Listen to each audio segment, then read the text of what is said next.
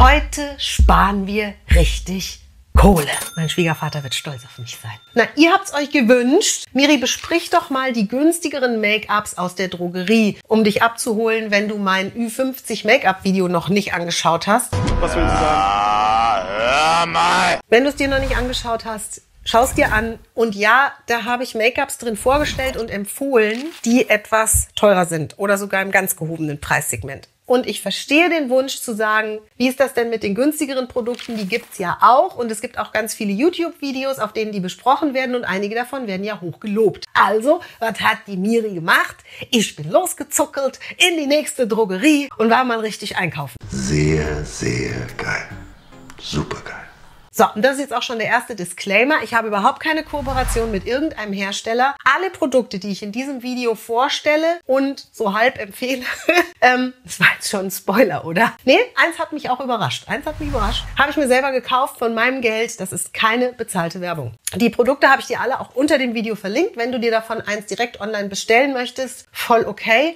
Und ich spreche die Empfehlungen völlig unvoreingenommen aus. Warum? Weil ich selber kein Make-up baue. Also es ist wirklich ein Beurteilen aus kosmetologischer Sicht und Kosmetologie, das ist die Wirkstoffkunde, Chemiestudium sozusagen. Das heißt, ich schaue jetzt weniger als andere auf wie schön lässt sich das verblenden oder wie toll lässt sich da das Rouge noch mit reinfriemeln, sondern wie gut sind wirklich die Inhaltsstoffe. Und da kommt gleich der nächste Disclaimer, weil beim dekorativen Zeug, ihr Lieben, egal ob Foundation, Rouge, Lidschatten, Lippenstift, sind wir in Deutschland und auf der ganzen Welt noch ungefähr in den 80er Jahren unterwegs. Wir finden da Inhaltsstoffe, ihr Lieben, die sind hart an der Grenze von verboten und deswegen, was auch immer, übrigens auch bei den teureren Sachen. Also es ist nicht so, dass das nur bei den günstigeren Make-up so ist. Ich sag dazu später später noch was beim Fazit bei diesem Video. Nur bitte, ich, ich empfehle hier in diesen Videos immer das geringste Übel.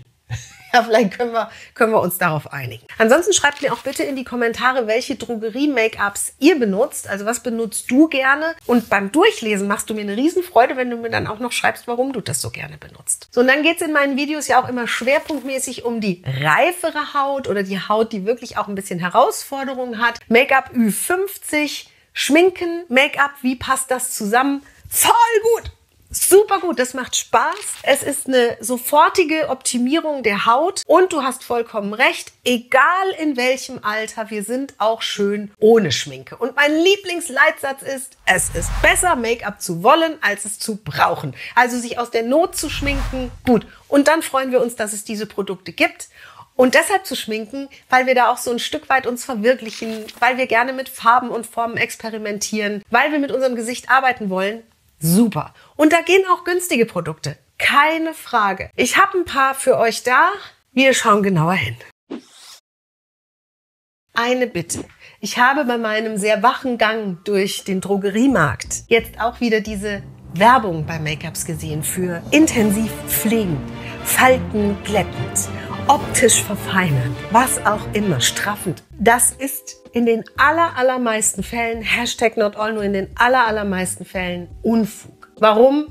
Make-up wird nicht dafür konzipiert, dass es tief in die Haut hineinzieht, sondern dass es oben auf der Haut drauf bleibt. Und wenn wir da mal darüber nachdenken, dürfte uns schon klar sein, dass die Wirkstoffe, wenn sie denn überhaupt ausreichend, also in ausreichender Menge in dem Produkt drin sind, dass die dann wahrscheinlich eher mit den Pigmenten und dem Silikon, was in Make-ups meist zuhauf drin ist, oben auf der Haut verbleiben. Wenn Make-up gebaut wird im Labor, dann gibt es andere Prioritäten als die Pflege. Hab das bitte immer in deinem Kopf. Für die Pflege benutzt du eine Creme, ein Serum, auch für die Wirkung. Und beim Make-up achten Hersteller darauf, dass es irgendwie abdeckt, mal leichter, mal mehr, also Pigmentdichte. Sie achten auf das Auftrageverhalten, so dass du zu Hause vom Spiegelschrank das möglichst gleichmäßig aufs Gesicht verteilt bekommst. Sie achten darauf, dass es haltbar ist und zwar in beiden Bereichen. Also es ist eine schöne Doppeldeutigkeit, dass es lange im Spiegelschrank bleiben kann, ohne zu vergammeln und dass es auf der Haut schön lange hält, möglichst den ganzen Tag und dann auch noch den Partyabend. Und dann gibt es noch den Punkt Farbrange, also welche Farbigkeit entwickelt das Make-up auf der Haut? Gibt es genug Auswahl? Und es gibt noch einen Punkt Marketing, also wie gut kann ich so ein Make-up verkaufen. Und da wird auch sehr viel mit Verpackung und mit Werbeversprechungen und so weiter gearbeitet. Kennt Sie ja alles, brauche ich dir nicht zu erzählen. So ist auch nicht unser Thema hier. Gerade für die reife Haut, ich habe ja eben gesagt, die Pflege ist separiert bitte. Die Pflege findet vor dem Auftragen von Make-up und nach dem Abschminken statt. Das heißt, wenn du eine gepflegte Haut in Zusammenhang mit Make-up zeigen möchtest, dann gilt bei der gerade reifen Haut, mehr ist mehr. Ich trage eine extra Ladung Feuchtigkeitscreme, eine extra Ladung Feuchtigkeitsserum auf, bevor ich mein Make-up auftrage. Dann spare ich mir übrigens auch den Primer, der ja auch wieder in den meisten Fällen eine Silikonmasse ist. Silikon dichtet ab. Silikon ist nicht furchtbar schädlich für die Haut, nur für die Umwelt allemal. Und das Silikon wäschst du dir abends eins zu eins einfach wieder runter. Wenn es um günstige Make-ups geht, dann gibt es in der Drogerie eine Riesenauswahl. Das habe ich als Vorteil hier mal markiert. Also Anders als in Parfümerien, wo wir im Luxussegment sind, außer natürlich in den ganz, ganz riesigen, haben wir in der Drogerie oft auf kleine Meter relativ viele Produkte, zwischen denen du wählen kannst, die auch sehr unterschiedlich sind. Und wir haben, deswegen ja auch dieses Video, viel niedrigere Preise. Ich war bass erstaunt, ihr Lieben. Ich war schon lange nicht mehr in der Drogerie Make-up kaufen und da gibt es ja Sachen für 3,95 Euro. Also gut, da könnten wir jetzt mutmaßen, das ist wahrscheinlich dann auch nicht so richtig gut. Nur warte, warte, warte, warte, warte, warte. Wir schauen ja gleich zusammen hin. Und wie gesagt, es gab selbst für mich Überraschungen. Nachteil in der Drogerie, die Testing-Situation, um die richtige Konsistenz und auch vor allen Dingen den richtigen Hautton vom Make-up rauszufinden, also der zu deiner Haut passt, sind extrem ungünstig. Das Licht in der Drogerie ist meistens sehr gelbstichig oder sehr blaustichig. Das heißt, du siehst nicht wirklich, wie das Make-up draußen aussehen wird. Dazu kommt, dass Make-up häufig noch nachoxidiert und du erst nach fünf Minuten den richtigen Farbton siehst. Nur dann haben ja die meisten das sich schon wieder von der Hand gewaschen und sehen es nicht mehr, glauben, sie haben den richtigen Ton gekauft und zu Hause, wenn sie ihr Make-up dann länger auf dem Gesicht haben, dann sehen sie erst, oh, das ist ganz schön nachgedunkelt. Weil das ist das Problem Problem bei diesen Pigmenten, gerade wenn sie mineralisch sind oder wenn es eben Eisenpigmente sind, was ganz viel in Make-up drin ist, ist wie so, so eine kleine Verrostung. Ja? Deswegen bei vielen Make-ups gilt lieber einen halben Ton heller kaufen, weil es auf der Haut dann eben nochmal nachdunkelt. Die Bedingungen hierfür sind eben schlecht und es steht auch meistens keine Verkäuferin zur Verfügung, gerade die dich mal ausgiebig berät und die dann mit dir zusammen den richtigen Ton raussucht. Das ist der Vorteil in der Parfümerie, wo sich lustigerweise auch die Kundinnen gerne etwas mehr Zeit nehmen. Also die Parfümerie scheint da irgendwie was anderes mit uns zu machen als die Drogerie. Sich die Zeit zu nehmen, den richtigen Ton rauszufinden, ist gut wirklich gut investierte Zeit. Und was mir jetzt auch wieder aufgefallen ist, und ich war in einer ländlichen Drogerie, gut sortiert, groß. Die Tester waren ekelhaft. Also es war wirklich nicht schön aufgeräumt. Schau dir dazu gerne mal mein Video Sephora Kids an. Es war alles verschmiert, viele Farbtöne fehlten einfach. Also das war keine ästhetische Freude. Und ich habe mir danach auch die Hände gewaschen und desinfiziert, noch in der Parfümerie. Dort bin ich auf die Toilette, weil ich es schon alleine ekelig fand, diese Testertypchen anzufassen. Hast du solche Erlebnisse auch schon mal gehabt? Bei einem Make-up waren die sogar alle verstopft, die Tester. Ich habe das nicht mehr da rausgekriegt, was kein gutes Zeichen ist, weil das kann zu Hause dann nämlich auch relativ schnell passieren. Komme ich später nochmal drauf zu sprechen. So unabhängig davon, ich habe vier Make-ups gefunden. Und das erste, was ich dir vorstelle, jetzt ist es endlich soweit. So, das erste, was ich dir vorstellen möchte, kenne ich schon sehr lange. Du vielleicht auch, gehört zu den Klassikern. Viel besprochen hier auf YouTube. Wenn dir dieses Video gefällt, dann schenk uns doch bitte ein Like umarme unseren Abo-Button und aktiviere auch gleich das Glöckchen, dann verpasst du nämlich kein einziges Video mehr von uns.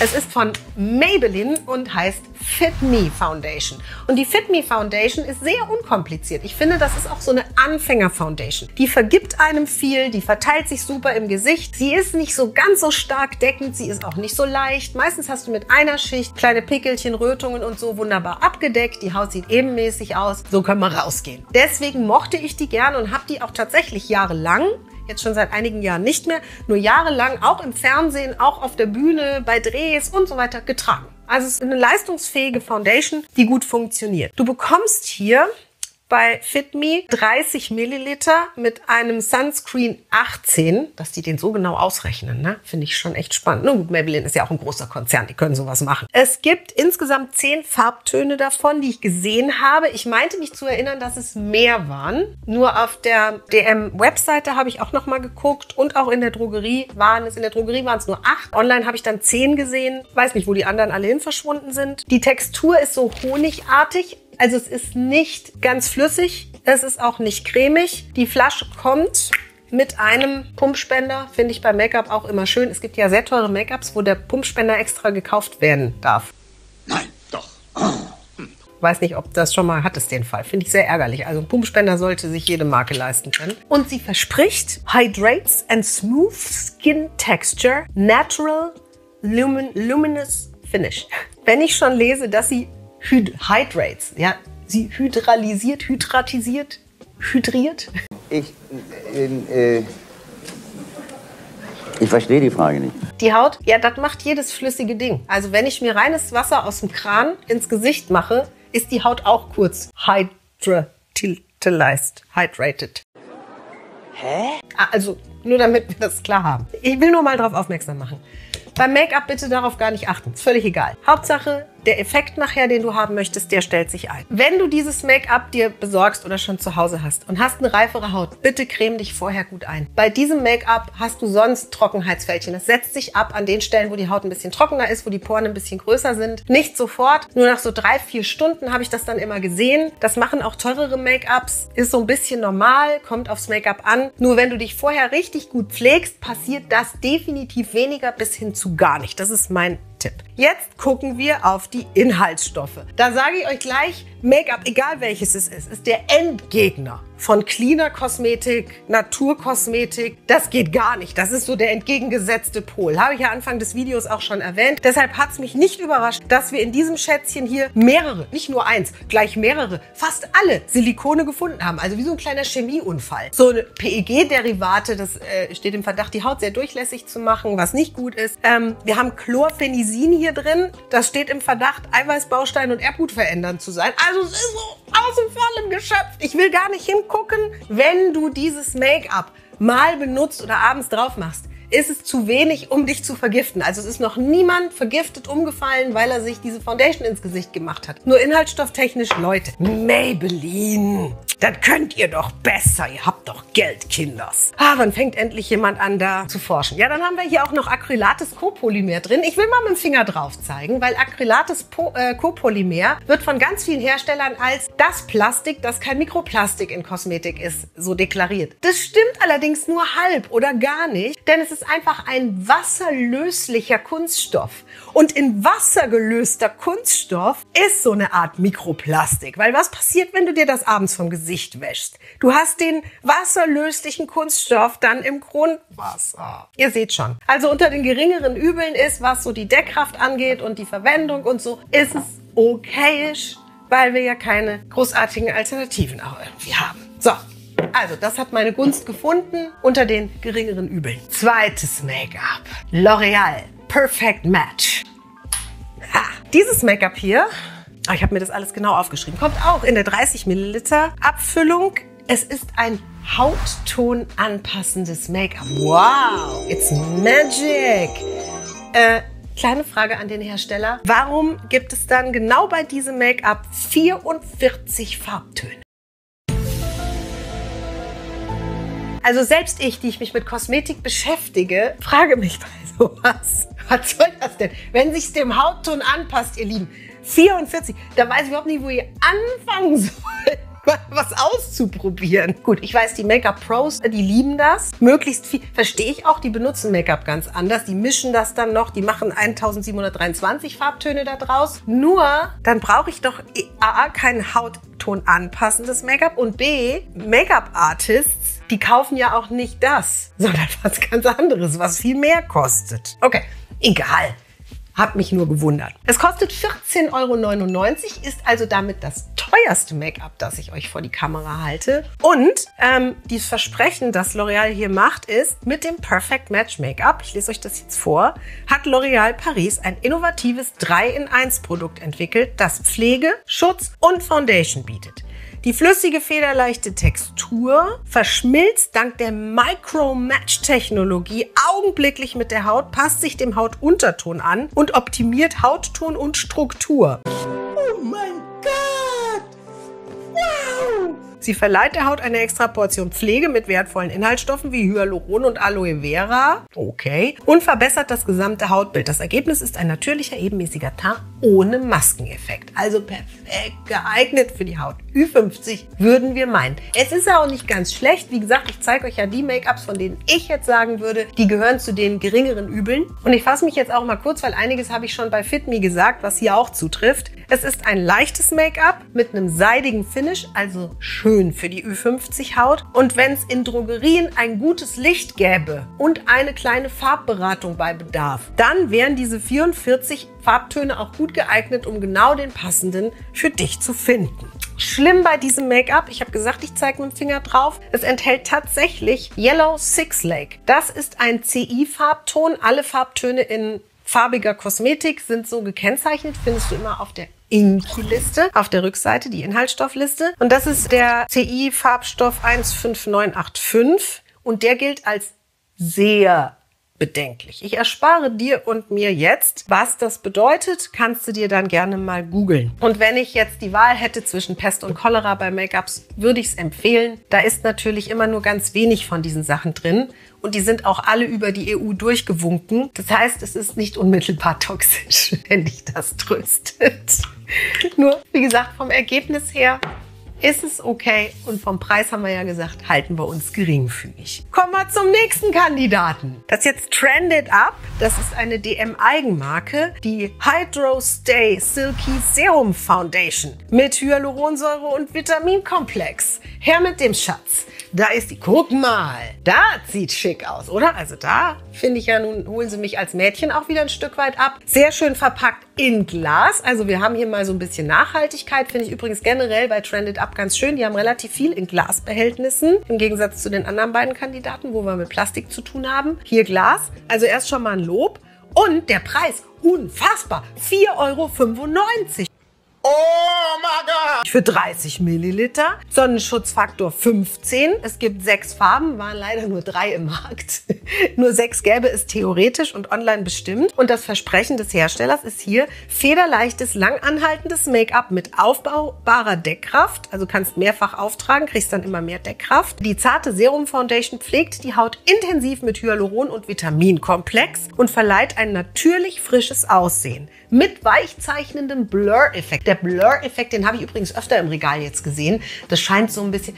Bist du vom Fach? Ist das gerade Trend? Nö. Blur. Ich kenne das nur von so Videokonferenzen. Also kannst gerne mal in die Kommis schreiben, wenn du dich damit auskennst. So, ihr Lieben, Serum Foundation heißt, ich rechne damit, dass das eher flüssig ist. Und hier kommen wir jetzt auch schon zum ersten kleinen Thema. Das ist mit Pipette. Ich mag Pipetten, ich mag Glaspipetten. Nur guck dir das mal an. Das ist eine richtig lange Pipette. Das heißt, du hast hier ziemlich viel Hebelwirkung drauf. Und beim Raus- und Reingeben dieser Pipette kommt da natürlich Produkt auf den Rand. Das kann sich schnell dann hier im Deckelchen absetzen. Unschön. Also die Entnahme dieses Make-ups würde ich jetzt schon als unpraktisch deklarieren. Ich selbst benutze auch Glaspipetten aus umweltfreundlichen Gründen. Also umwelttechnisch hier schon wieder ein Bonuspunkt. Nur da kann so eine Pipette hier vorne sehr leicht verstopfen. Und dann ist es ärgerlich, wenn du noch ganz viel Make-up hier drin hast und kommst mit der Pipette nicht mehr dran. Also hier ruhig zwischendurch mal sauber machen und auch den Rand, wenn du fertig bist, immer wieder sauber machen. So, ansonsten kommt das hier ganz gut raus. Es ist auch recht flüssig. Was mich erstaunt hat, hier ist die Pigmentdichte. Für eine Serum Foundation habe ich mit viel weniger gerechnet. Bei mir deckt es instantan richtig gut ab. Also der Hersteller sagt ja, leichte Deckkraft. Fürs Abdecken von so einer leichten Kuperose reicht es schon aus. Also finde ich gar nicht verkehrt hier. Es ist, und das ist ein großer Nachteil von diesem Produkt, auffällig stark parfümiert für ein Make-up. Es hat so ein, sagen wir, fruchtige Süße. Es erinnert mich an so Deos, als ich 13 war. Bin ich jetzt nicht so Fan von. Geht nach einer Zeit weg, dauert allerdings ein bisschen. Also so eine halbe Stunde hatte ich mit dem Duft hier zu tun. War ich im Dialog mit dem Duft. Da hier eine Menge Pigmente sind, empfehle ich dir, bevor du das aufträgst, richtig viel Pflege aufzutragen. Richtig viel. Und dann erübrigt sich das, dass wir hier über ein Serum sprechen, weil das Serum kommt dann eh durch die Lipidschicht auf der Haut nicht mehr durch. Ein Serum würde ja zuerst aufgetragen. Nur das hier ohne Pflege zu tragen, geht gar nicht. Also geht überhaupt nicht. Da kann ich meine Falten auch mit einem schwarzen Liner nachzeichnen. So werden die dann betont. Deshalb, wenn du dich vorher richtig dick eincremst und es dann drauf machst, hast du wirklich eine tolle, wunderschöne Deckkraft, finde ich, die auch sehr natürlich aussieht. Jetzt kommen wir zur Inky, also zu den Inhaltsstoffen dieses Make-ups. Und da habe ich mit dem Schlimmsten gerechnet. Es geht allerdings. Also für 4,95. Okay. Wir haben relativ viel Silikon. Dafür dann allerdings auch recht viel Feines für das Geld. Also es geht relativ früh los, tatsächlich mit den pflegenden Inhaltsstoffen. Können wir mal kurz drauf schauen. Wir haben hier Hyaluron, das ist ein Feuchtigkeitsbinder. Panthenol, das beruhigt die Haut sehr schön. Panthenol übrigens Vitamin B5. Niacinamide, wisst ihr, ist ja auch ganz gut, wenn es um Pickelchen, große Poren und so weiter geht. Vitamin B3. Pyridoxine HCl, Vitamin B6, wissen die wenigsten, ist auch drin. Calcium, Vitamin C. Also gar nicht mal so verkehrt. Was mich echt stört an der Inki ist, dass Titaniumdioxid drin ist. Grundsätzlich ist das okay, nur es ist in Nanogröße drin. Und da gibt es mittlerweile Warnzeichen bei den einschlägigen Plattformen im Internet, auch von einigen Wissenschaftlern. Nano-Titaniumdioxid darf nur noch in flüssigen Texturen verwendet werden. Trocken als reines Pigment nicht mehr, weil es beim Einatmen wirklich Schaden anrichten kann im Körper offensichtlich. Das ist also nicht so empfehlenswert. Da habe ich mich gewundert, weil schade, schade. Hätte es nicht gebraucht in meiner Welt. Hallo DM, vielleicht wollt ihr das ja bei Gelegenheit nochmal verändern. Wenn du eine etwas stärkere Kuperose hast, mal richtig Pickel, Ausbreak und so, ist es wahrscheinlich bei einmal auftragen zu wenig, dann darfst du es zweimal auftragen. Das sind auch schon die einzigen Kritikpunkte. Also für 4,95 Euro bis jetzt der Gewinner von all den Make-ups, die ich aus der Drogerie für dich, für uns getestet habe. Einen haben wir noch, einen haben wir noch. Und jetzt geht's richtig ins Blur-Thema, denn die NYX, die NYX Bear With Me Blur Professional Foundation, wenn ich sie dann fertig ausgesprochen habe, hier ist sie. Hat, obwohl es kleiner aussieht, auch 30 Milliliter Inhalt, also alles gut. Lichtschutzfaktor ist hier nicht explizit ausgelobt, gibt es allerdings in zwölf Farben. Das finde ich ganz gut. Also so drei oder vier finde ich ein bisschen wenig. 44 finde ich für mich zu viel. 12 ist super. 10,95 Euro der Preis. Und die Versprechen Versprechung hier ist, sie überzeugt mit einer leichten Textur und einer mittleren Deckkraft. Doch die Foundation deckt nicht nur kleine Makel ab, sie kann unter anderem den natürlichen Hautton dank Niacinamide Pulver aufhellen und diesen verstärken. Zudem können leichte Rötungen beruhigt, überschüssiger Talg absorbiert sowie Poren verfeinert werden. Für diesen Effekt sorgt die mit Matcha Pulver korrigierendem Seidenpulver und Niacinamidepulver angereicherte Formulierung. Für ein ebenmäßig aussehendes Hautbild und ein weiches Hautgefühl. Ist ja vielversprechend. Ist jetzt auch nicht so viel Pflegeversprechung drin. Es ist eher Heilungsversprechen drin. Also nicht versprechen, ist ja immer ein Kann davor. Ne? Das wissen die Hersteller schon, wie es geht. Grundsätzlich erinnert mich das sehr stark an das, was früher von den reinen Mineral-Foundations behauptet wurde. Was sich ja auch nur zum Teil dann bewahrheitet hat. Nur hier scheint mir das so. Beim Probieren, die habe ich wirklich jetzt auch zum ersten Mal getestet, ist mir aufgefallen, dass sie wirklich eine sehr gute Deckkraft hat. Also die geht schon von mittel bis stark. Ich brauche da echt nur eine dünne Schicht und die deckt recht zuverlässig ab. Sie ist allerdings beim Verteilen auch so ein bisschen schwergängiger, finde ich. Also man braucht ein bisschen Geduld und Muße, um die überall gleichmäßig im Gesicht, am Hals und so weiter dann auch zu haben. Wenn sie dann mal sitzt, sitzt sie gut. Was mir aufgefallen ist, dann schon sehr schnell nach fünf Minuten, die dunkelt echt stark nach. Das zeugt davon, dass hier eine Menge natürliche Pigmente drin sind und sie wird leicht rötlich. Also ich hatte dann auf einmal einen sehr, sehr anderen Hautton als beim Auftragen. Deshalb die auf jeden Fall einen ganzen Farbton heller kaufen. Das ist vollkommen okay. Das wird sich dann auf dem Gesicht angleichen. Dadurch, dass viele Pigmente drin sind, auch hier gilt ganz viel Creme drunter. Wenn du hier nicht ordentlich gepflegte Haut drunter hast, wird die sich in den Fältchen absetzen. Funktioniert gut mit einer guten Creme drunter, habe ich ausprobiert für dich. Kein Thema dann. Und dadurch, dass sie durch die vielen mineralischen Pigmente eben auch etwas austrocknet und der Hersteller ja auch auslobt gegen kleine Pickelchen, gegen ölige Haut, ich glaube, dass eine sehr trockene Haut hier nicht glücklich wird mit. Also eine trockene, normale Mischhaut, so diese ganz normale Range, kann damit gut arbeiten. Darf ein bisschen mehr, ein bisschen weniger Creme drunter nehmen. Die sehr, sehr trockene Haut ist hier raus aus der Nummer. Jetzt schauen wir auf die Inki. Was ist mir da aufgefallen? Es ist eine richtige Silikonbombe. Hätte ich jetzt nicht erwartet. Ich hätte gedacht, da ist ganz viel Natur drin. Hier ist sogar die Wasserphase. Also meistens steht auf der Inhaltsstoffliste als erstes Aqua, Wasser. Das ist hier schon Silikon. Also kein Wasser. Das Wasser kommt dann später. Und Silikon ist nicht furchtbar schädlich für die Haut. Es ist allerdings, sagen wir es einfach mal platt, stimmt nicht ganz, nur es ist definitiv, also es ist sowas wie Plastik. Und es ist nicht schön für die Umwelt. Und mit viel Silikon zu arbeiten bedeutet eben auch, sich wie so eine Art Strumpf, also Film über die Haut zu legen. Das sieht dann zwar im ersten Moment geglättet aus, nur es ist eine optische Täuschung und späterhin kann auch Silikon sich ganz arg in die Fältchen setzen. Das ist mir bei der auch aufgefallen. Es kam zwar erst sehr spät, erst gegen Abend, nur dann habe ich deutlich gesehen, wie diese Foundation in die Fältchen reinrutscht und das war nicht, das war einfach nicht so schön. Also wir haben hier deutliche Silikonbombe. Wir haben auch ein richtiges PEG-Süppchen. Deswegen auch hier, ich kann jetzt nicht sagen, das ist äh, meine Vollempfehlung. Nur für den Preis vollkommen in Ordnung. Und gerade wenn du eine etwas öligere Haut hast, eine Mischhaut hast, dann könntest du die hier nehmen. Hier wird ja sehr stark über das Thema Matcha und Pflege und so weiter gesprochen. Das kommt, wenn wir uns die Inki anschauen, sehr weit hinten bei dieser Foundation. So aus meiner Erfahrung im Labor würde ich sagen, da sind nur ein paar Moleküle Matcha drin. Mit sehr viel würde ich nicht rechnen und ich kann mich da irren. weil ich habe es jetzt nicht im Labor auseinandergenommen. Die Zeit hatte ich nicht. Hier kleiner Sidekick. Das Display in der Drogerie war eine Katastrophe. Ich wollte gerne die Farbtöne ausprobieren, es ging nicht. Wenn ich das hier dir zeige, die hat eine sehr, sehr dünne Tülle hier eingearbeitet. Und ich kann mir bei der Pigmentdichte vorstellen, dass diese Tülle verstopft und zutrocknet. Also hier ganz wichtig, mach die bitte, bitte sauber wenn du die benutzt. Geh mit einem Tüchlein drüber, was auch immer. So, jetzt kommt mein Fazit. Bei täglichem Gebrauch habe ich jetzt so für mich wieder festgestellt, als ich auf diese Inhaltsstofflisten geguckt habe, bei täglichem Make-up-Gebrauch und bei Freude am Schminken, da lohnt es sich wirklich ein bisschen mehr Geld in die Hand zu nehmen. Wenn du dir mein Video Ü50 angeguckt hast, bei den teureren Make-ups haben wir auch immer noch Schindluder drin, nur es ist definitiv weniger.